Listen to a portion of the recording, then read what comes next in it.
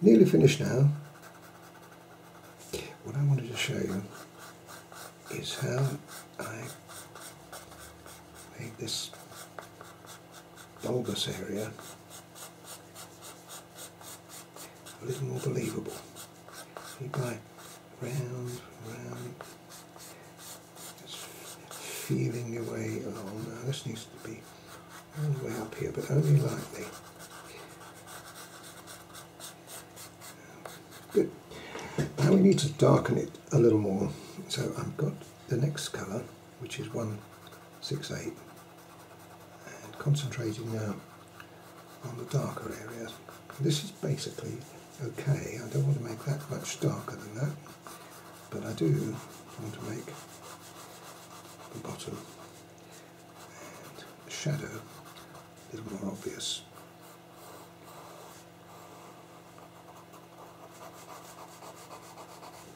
Let's just turn this around a little bit so I can reach it.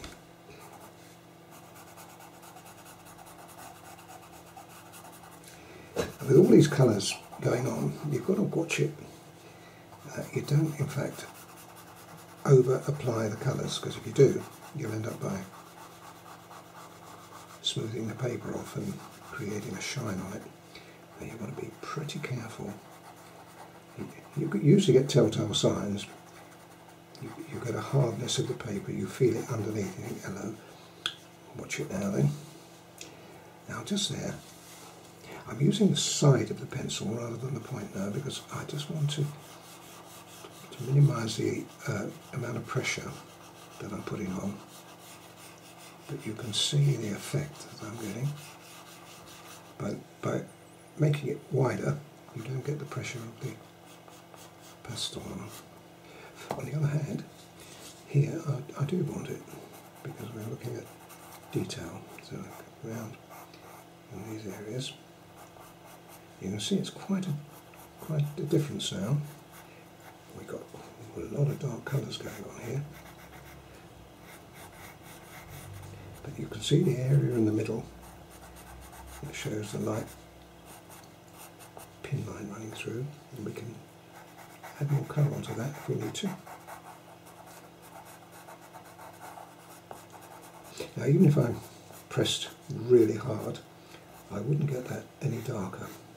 So you know that if you want it darker, which I do, you're going to have to work on another pencil, which will be 174. But once again, there's a limitation as to how dark that's going to get. And that's probably as dark as you can get, even if you press harder. You wouldn't go any darker than that. So you've then got to rely on a darker colour, which will invariably be the black.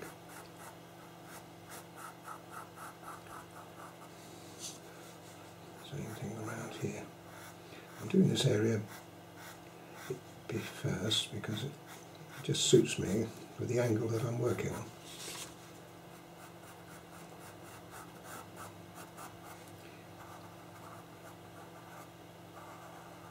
Good. And through here.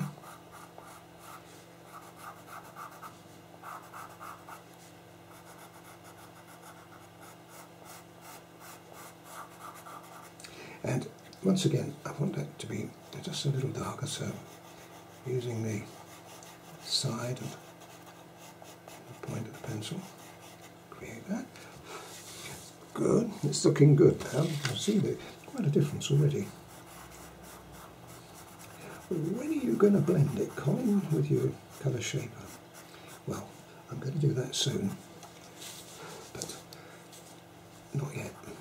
Now it's got to be a bit darker in there. So no, doesn't fade out quite so far now. Now you can see it looks, it looks good, doesn't it? Just in here where we want it to be just darker under the rim.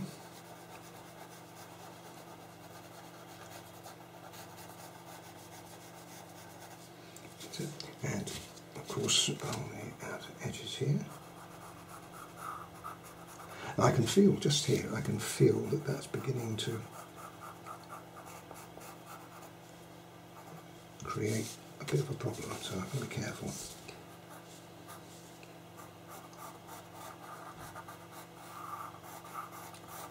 It's not too bad.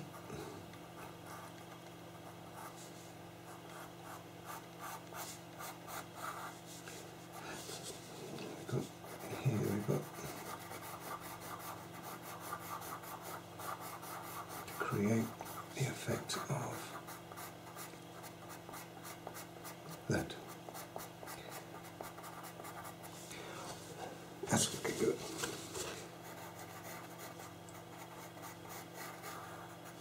Well, now it's the time to think about blending it. So start at the top.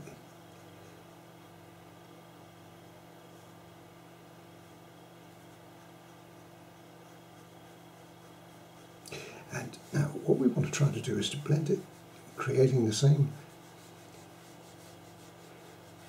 design as we, we did with the pencils when we first put them on. In other words, follow the shape of the vase, jug, using the same strokes.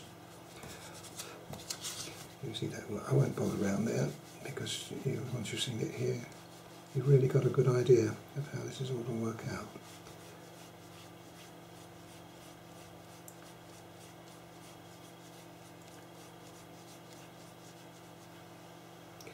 and there's more, a lot more colour going on here, but this this really is the, you see, now, yeah, now that was excellent, wasn't it? You can see that. I used the darker colour in there. Yes, I was going to say there's still a lot more colour to go on here. By no means is that finished. And I'll also be putting my fingers on there a little later on. But I think you've got you missed that bit at the bottom. Sorry about that, but I got carried away. This is what I was doing.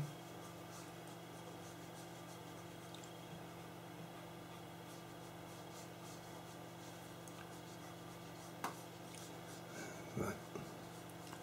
Good. Looking good. All we need now is to think about how we're going to change it, how we're going to add the colours like um, grey, uh, ochre, and a little bit of this colour going in. So the way to do that, I'll, I'll just finish this off first and I'll and come back to me and we'll use those other colour, uh, work those other colours in.